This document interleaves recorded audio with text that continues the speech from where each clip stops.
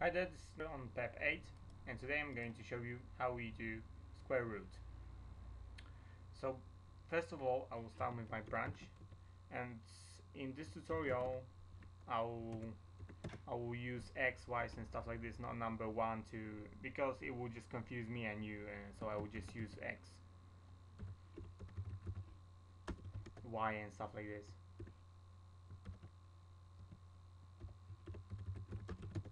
and set. I'll also use counter. And I'll also need some kind of message if the if the number is not squareable. So that will be ASCII string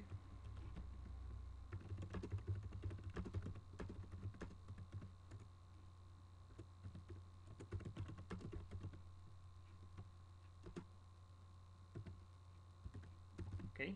So I have my variables declared. I will go to my main and I will start with the coding. So first of all I need the input so input of x. Then I will load 0 and I will store it in y just to have the uh, y as 0 as for the moment from the beginning. Now I will load um, I'll load um, one I think yeah I and store actually I can load mm, that would be wrong. Load um, Z. Um actually yeah actually I will just um, load one uh, I, and store it in Z. Okay so that's my uh, uh, code before the loop. So this one will be the loop code. Okay so I start with load x. Uh, I mean y sorry in D. And then and then I add sorry minus h uh, I add uh, z and I store it in y okay now I load the counter. And I subtract one. And I start the counter. Now I need to compare to zero. So if the counter is zero it's actually I will have the branch as greater than. So if the counter is greater than go to loop if it's not carry on I want to carry on. It's just the condition to check if it's greater than okay. So what I do now is load y. And I compare it to z so compare uh, xi sorry xd okay.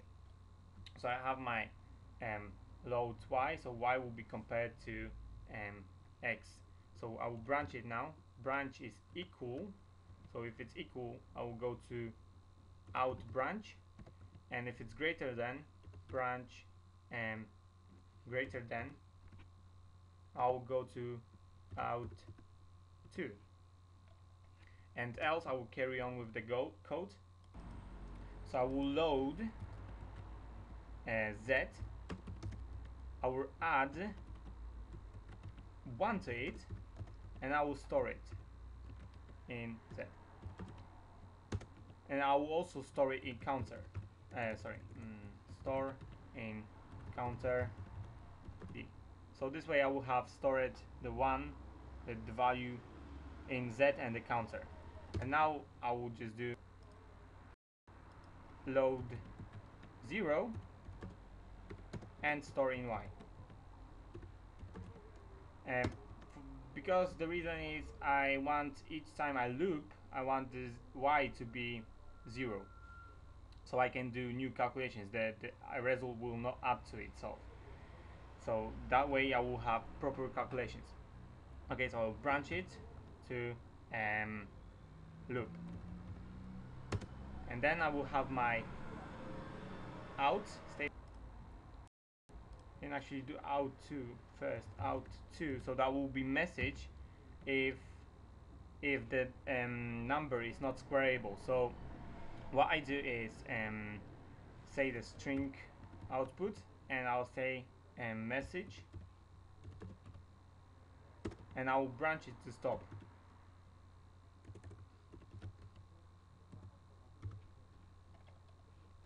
uh, later on I will just do the stop uh, okay so this will be out.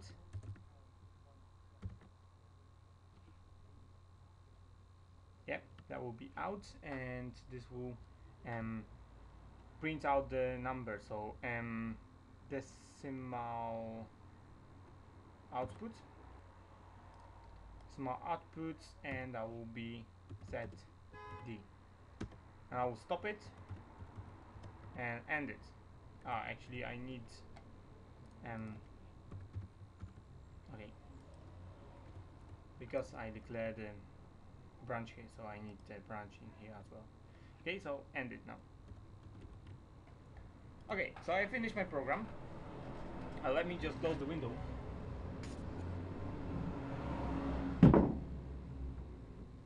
I okay close the window. Let me just run the program. So for example if I input 5 it says the number is not squareable because you can't square it. But if I input 9 it's 3 so 3 times 3 is 9 so 3 to square is 9 so for example if I put um, 6 it's not. 4 it is because it's 2 uh, 16 can put uh, I can put 32 maybe I don't know. No but I can put as well 121 or 144 or 256 so whenever I put it will show me um, the number that I square to get this result or it will say I can't square the number to get this result. So if I put some kind of something like this it will say the number is not squareable. So if I square some kind of number I will never get this value.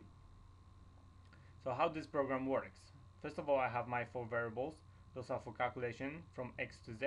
Counter is for counting.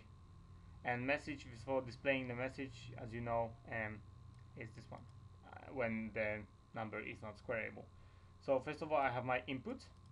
I load 0 and store it in y. So y will be initially as 0 at the beginning. I load 1 and store it as z so that will be 1 from the beginning. Then I enter my loop uh, branch. I will have load y so I will load y which is 0 I will add z so it will be 1 then I store. I load the counter subtract 1 1 counter is initially as 0 or 1 I, I don't know what's the initial value. I think 0 or 1 I don't know. But if I uh, subtract 1 it either be will be 0 or minus 1 so it means it's not greater than so it will carry on with the code. Then I load y so y is 1 and I compare it to x so the value I have here. And if it's equal to then the result is that is a square squareable and if it's greater than then it means um, that the uh, number um, is not it, it's not squareable okay and if I go through this so either of them is not true I will go to load z I will add a 1 to it I will store to z and to counter and I will load 0 and store in y. So um, always at the beginning of the code here I will loop to, uh, I will branch to loop. So at the beginning here I will always have y as 0. So that way I will not, you know, for example if I was here 1 and I add 2 for example, uh, the calculation would be messed up. So that's why I, I validate is a 0 at the end of the code and then branch it. I think that's it for this tutorial. As I said, it's quite long. The code is quite long. Have a look. Um, actually, I can get rid of this. I think. Mm. So that's the code. And